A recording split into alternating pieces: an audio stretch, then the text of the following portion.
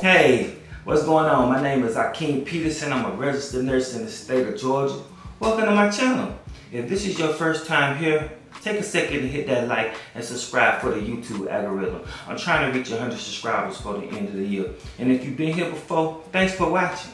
Peace and blessings. Now today's video is about WGU's statistic course. This course, I've been rusty in math for quite a long time. So it was one of the ones that I did not want to do.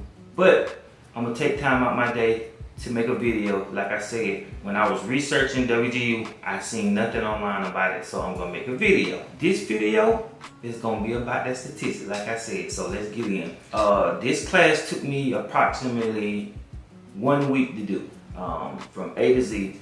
So basically, I got into it and I first, well, first you take a performance assessment test. You take that test and it's gonna tell you where you weak at, all your weak points in it.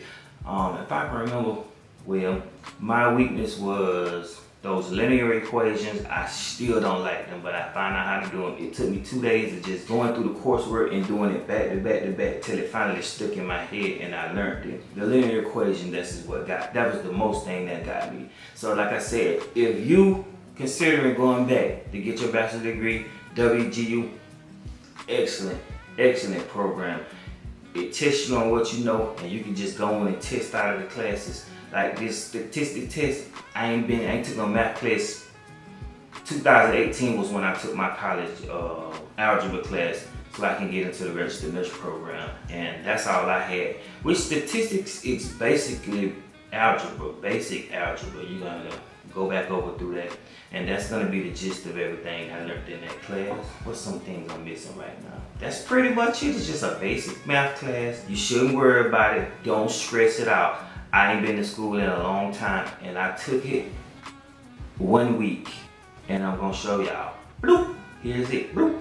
I finished it. Look at the, you can read that, you'll be able to see how long it actually took. I think it was one week, February the 1st, I started the class and I, I, I did my first class, it was, it was a paper. And that's pretty much it, man.